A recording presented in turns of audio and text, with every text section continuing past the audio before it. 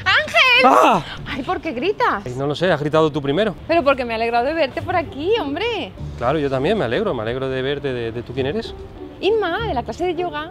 Ah, claro, Ima de yoga, sí, eso justo iba a decir eso, sí. Que por cierto, no tendrías que haberlo dejado, ¿eh? Porque te van a volver los problemas de espalda. Ya, pero es que yo ahora tengo muchas cosas que no... ¡Ah! Estoy embarazada.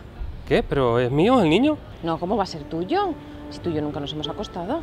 Ay, no lo sé, como en yoga hacíamos cosas tan raras, pues, Ay, qué bueno eres. Bueno, ¿qué tal eso de ser padre? pues, pues muy mal, la Pero verdad. es genial. Es duro, pero duro de bien. No, no, duro de que creo que me atropelle un camión. A mí me inspiraron un montón las fotos de Laura embarazada. Laura y yo nos hemos separado. Ay, típicas rencillas de primerizos, ¿eh? Bueno, pues te digo una cosa, porque me hice inseminación artificial, si no pensaría que vuestras fotos causaron mi embarazo, es que son tan bonitas. Yo es que tuve que salir de casa de un día para otro y de las fotos ya ni me acuerdo. Como Laura me tiene bloqueado, pues no puedo ver nada. Ay, Laura tiene que ser tan genial. Yo no la conozco en persona, ¿eh? Pero seguro que es genial, algo le harías, pillín. Bueno, es que el niño no dejaba de llorar todas las noches y claro, semanas enteras sin dormir. Luego pues empieza el estrés, las discusiones y de... El típico insomnio. Ay, qué ganas tengo. No gano nada porque me han despedido. Claro, no lograba conciliar los horarios de la maldita guardería con los del trabajo y siempre llegaba tarde. Y al final, pues en la calle. La guardería ya, pero tiene que estar enorme. Normal, con 11 meses, no sé. Ay, mira, si hablas en meses en vez de en años, qué gracioso. Es que tiene 11, no se puede, o sea... Ay, mira, me ha dado una patadita, mira. ¿Lo notas? eh, No, es que te, te estás tú muy plana, no creo Así yo... es por el yoga. Y bueno, el suelo pélvico ni te cuento cómo lo tengo. Deberías volver.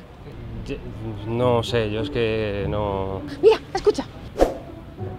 Yo no oigo nada, pero que igual es por las pastillas para la depresión que me tomo. Ay, otra vez. No sé, no...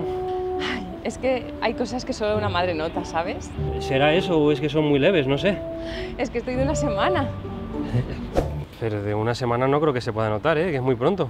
Ay, me voy corriendo que tengo una sesión de fotos de embarazada, ¿vale? Eh, dale recuerdos a Laura. Es que me han puesto una orden de alejamiento. Bueno, no pasa nada, se lo haces desde lejos, así con la mano.